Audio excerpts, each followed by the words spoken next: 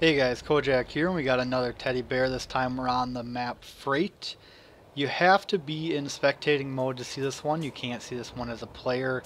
Make sure if you're going to go into a private match to see this, you have to be going under game setup, options, team options, and then spectating to free instead of to uh, team player, however it's set up. So we're going to go all the way back to this big crane here, back by the trains, and there's a hole underneath this crate. Right in the corner on the sleeping bag by the pillow is a teddy bear guarding his two very old VHS movies.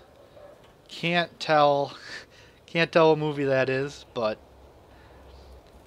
that's where he is for freight. Again, coming down here along the train underneath the yellow and white crate, there's a gap by the fence and the other crate, right by this white tree here full of snow. And you go down and he's in the corner. Star on the chest, we know it's the teddy bear we're looking for.